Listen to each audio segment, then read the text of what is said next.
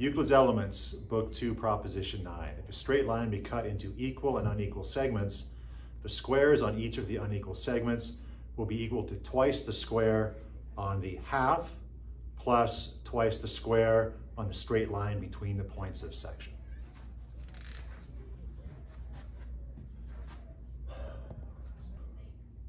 We've got our straight line, AB.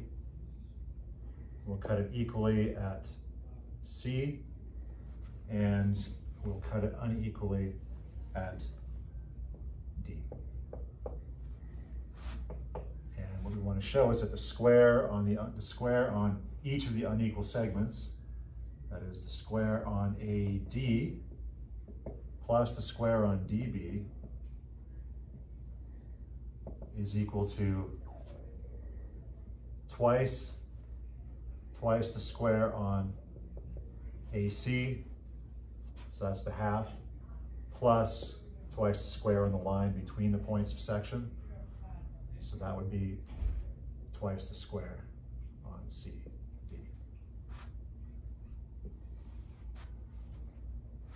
we start off using book 11 and we draw a line from C perpendicular to AB.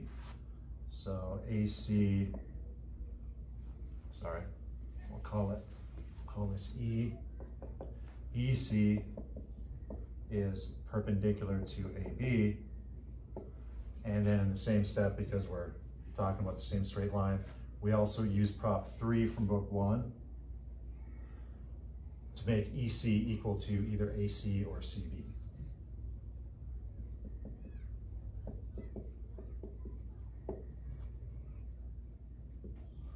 And then we join E to A, and we'll join E to B.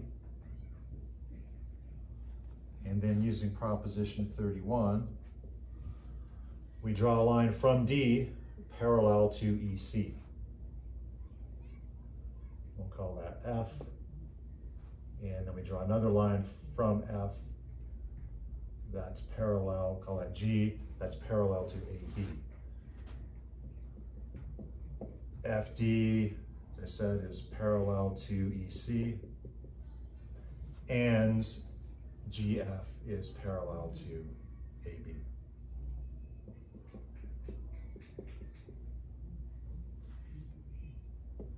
And he also connects line A to F. Okay, so we're gonna look at the triangle ACE. And we know that since AC equals EC, that means from proposition five, since AC equals EC, according to proposition five, the angle CAE is equal to the angle AEC. But because the angle ACE is a right angle here, then we know that because of Prop 32, that these two angles must be equal to one right angle.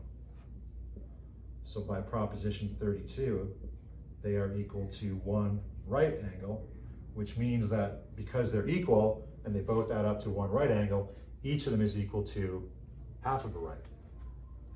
The angle CAE equals one half a right angle, and angle AEC equals one half a right angle, which now we can apply proposition six and we can say that since the base, actually, that's another step, different triangles. Now we go on to the next triangle on the right-hand side. We've got EC equal to CB, so we can do the same thing. We can say that the angle at B is going to, by proposition 32, the angle at B is half of a right. Equals one half of a right angle. Likewise, the angle CEB is one half of a right.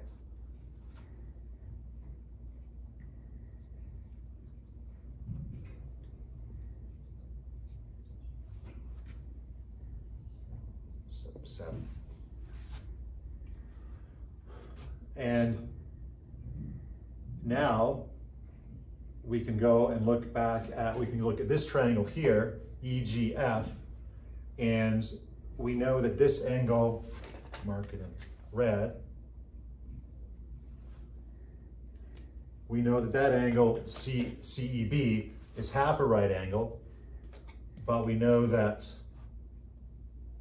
the angle EGF has to be a right angle, and he says that's because of proposition 29. We've got, we've got the parallel lines GF and CD cut by the transversal EC. So the red angle here, the red right angle is equal to the angle GCD. So the angle EGF equals a right angle. And step eight, since it's a right angle, and we know that this is half of a right angle, this being GEF, then the angle EFG has to be half of a right angle. I can mark this in, in red. Therefore, EFG equals one half of a right angle. Step nine, we can do, basically apply the same, well actually before we move on, we can now apply proposition six, since the base, if we look at triangle EGF, we see the base angles are equal, therefore the sides that subtend those angles must also be equal. Therefore, EG equals GF, and that is by proposition six of book one. And then we use the same steps using prop 29 and prop 6. We're going to apply this to triangle FDB. We know that, as we showed earlier, the angle at B, the angle at B was equal to half of a right angle down here. And we know that FDB by proposition 29 is going to be equal to the corresponding angle, namely GCD. Therefore, the angle FDB is right.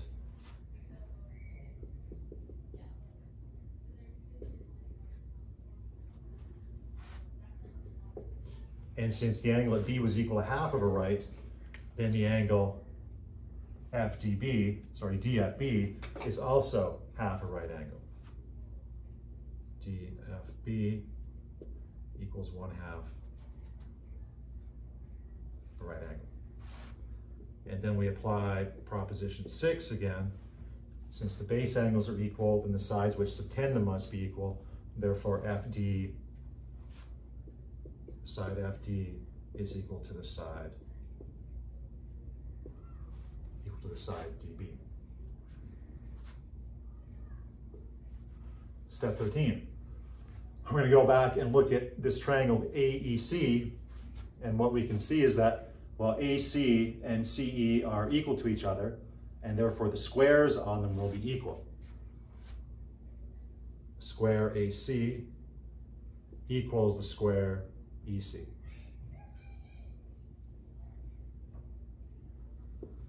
So we take any two of them, we take two of them, and they'll be double the other one.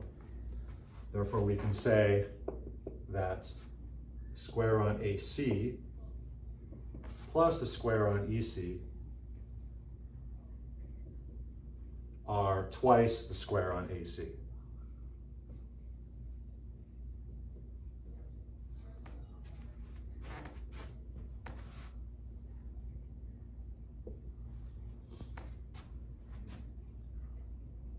But we know that from the Pythagorean theorem, Prop 47, that the square on EA is equal to the square on CA plus the square on EC.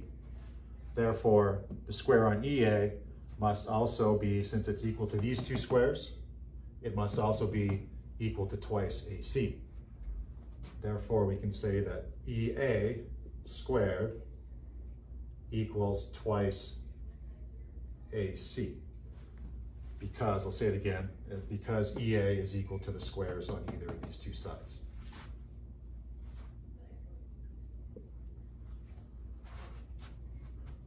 Now, we can look at this triangle here, EGF, and we can do the same, much the same thing. We say, look at EG is equal to FG, therefore the square on EG is equal to the square on GF. The square on EG equals the square on GF. But if we take those two together, like we did over here, it'll be double, it'll be double one of them. So Euclid says, let's take, says therefore if we took EG squared and we uh, added GF squared to it, they both would be double GF.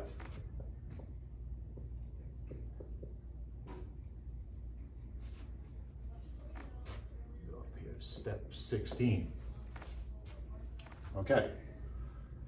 But the squares on EG using proposition 47 applied to the triangle EGF, we know that the square on EG plus the square on GF is equal to the square on EF.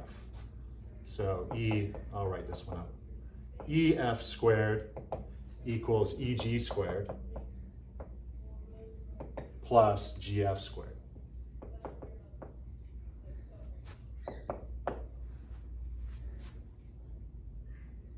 So since these two added together equal twice GF, that means that EF squared, by common notion number one, EF squared is equal to twice,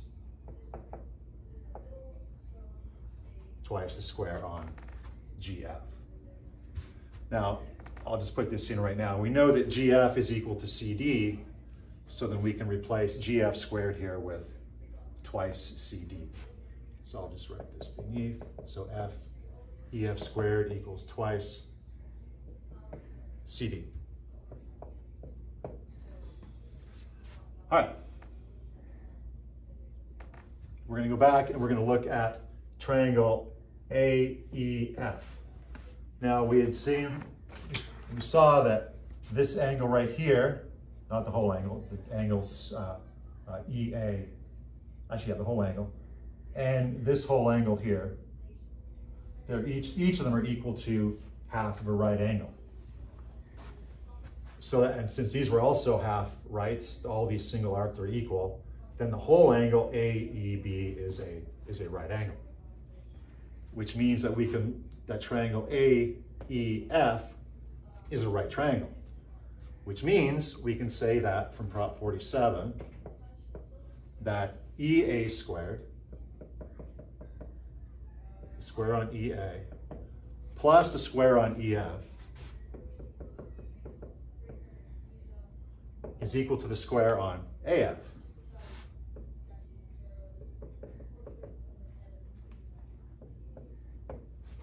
But we know that the square on EA, where do we do this? The square on EA is equal to twice AC.